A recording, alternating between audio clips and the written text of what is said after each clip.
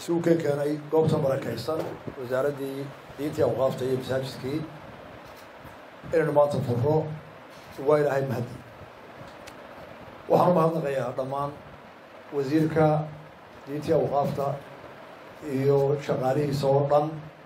Juhdiga ay u galeen inay wasaaraddan kobciyaan dhismaheeda iyo shaqaalaheeda iyo aqoonteeda iyo waxqabadkeedaba oo hawshii wasiirku akhriyey iyo mawduucyada badan ay ka howlgalaana aad iyo aad baan ugu mahadnaqaynaa. Waxaynu u mahadnaqaynaa xaaji axmed daahir axsane oo dhulkan tabarru ugu deeqay wasaaradda diintii awqaafta oo iminka yar tahayba dhul intaa leeg qof bixin kara. Marka la qiimey lacag loo rogo ilaahay ka tisaaysiiyo hambaryada laba qodob baan ku dari. Khudbaddii uu sheekhu akhriyey laba qodob baan sii xoojin. Mid waxa weeye culimadu maanta waa badan tahay. Aqoontooduna way badan tahay. Waxaana laga yaabaa in culimada haddee qaybo iskuul gaara ka soo baxday ama madrasad gaara ama sheekh gaara. Khilaafka iyo masalooyinkana ilaahay baa adduunyada uro waa dabiici waa joogto waaba culimada wax tiraa khilaafku waa raxma waayo ra'yigaa ka soo baxa oo waa la isu geeya.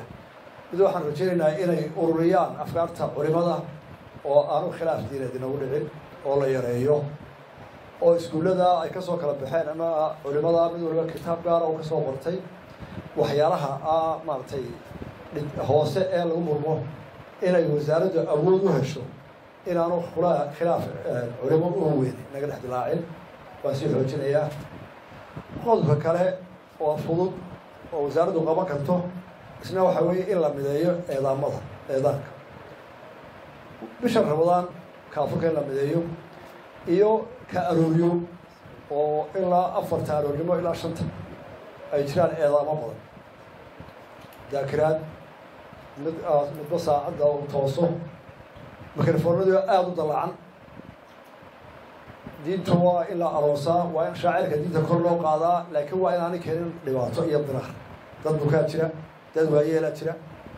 Marka in laysu qiyaaso oo eedaankii subaxeedda mideeyo la ururiyo iyadoo shacayrtii diinta iyo koruqaadidii iyo aroosyadii shacayrka diinta aan meel laga dhacin taasina waa midaynu u baahannahay ta saddexaad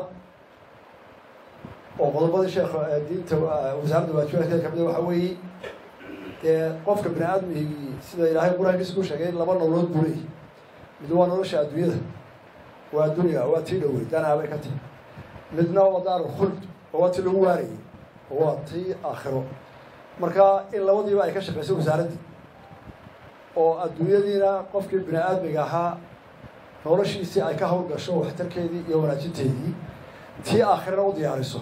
Oo qofkii labadaaba ay diinta ku hogaamiso.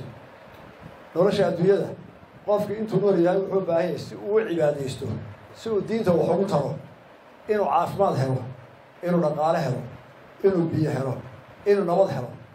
Markaa wasaaraddu waa taa ka howlgasha uu qofka cibaadadii iyo diintii wax u taro qof bukaa cibaadaysan maayo qof gaajoonaya cibaadadiisu waa degan degan qof qof baqanaya oo nabad haysane diintiisu waa degan degan marka inaynu halkaa xoog badan saaro oo adduunyadii qofkii marka hore isagii la diyaariyo si uu cibaadadiisii iyo waxtarkiisii guto tii aakhirana ugu diyaar garoobo.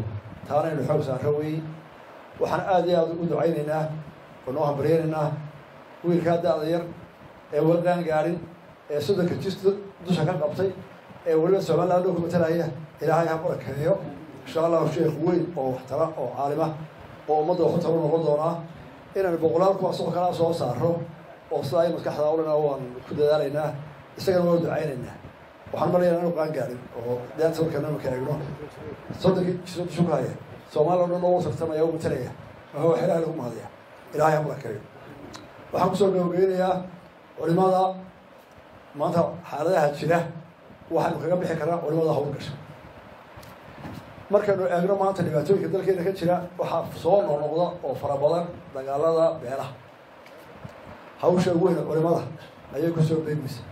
Hadday waalan tahay hadday xaqsoor tahay hadday rumusheeg tahay hadday gurmud tahay. Wasaaradda awqaaftu inay la dagaalantay qabyaaladda iyo qaadka iyo mukhaadaraadkana waa waajibka koowaad waayo dhibaatooyinka maanta noogu waaweyn. Haddii la idhaha maxaa idinku horreeya? Waa qaadka iyo qabyaaladda oo wada socda. Waayo mafishkay qabyaaladka soo kacda.